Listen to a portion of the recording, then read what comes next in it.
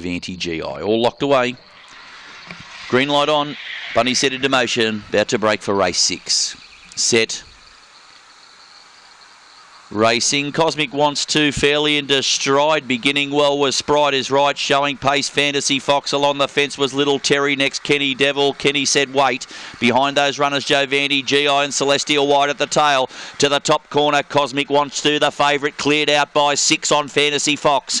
Next was Rocking Devil. Followed by Little Terry. Sprite is right into the straight. It's all the odds on favourite. Cosmic wants to. He's going to lead from Go to O. Scores by five to Rocking Devil. Third was Fantasy Fantasy Fox. Fancy Sprite is right for fourth, just in front of Kenny Said Wait, Jovanti, GI, Celestial White, and Little Terry amongst the tail enders.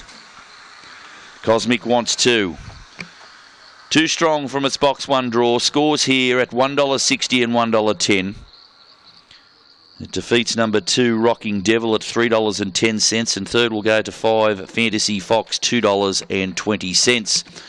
27.43 is the time recorded, 27.43. He was only fair to begin and he had to hustle really hard to maintain a position through the pen, but he managed to uh, squeeze through and find the lead going into the back and was dominant from there on in.